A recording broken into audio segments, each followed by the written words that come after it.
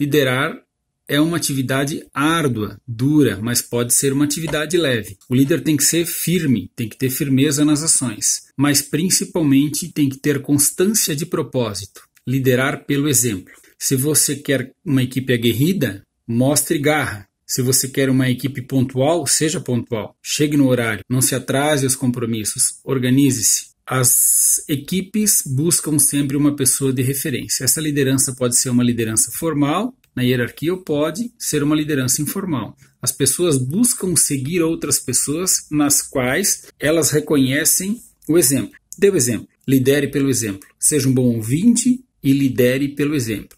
Ok? Muito obrigado. Um abraço a todos.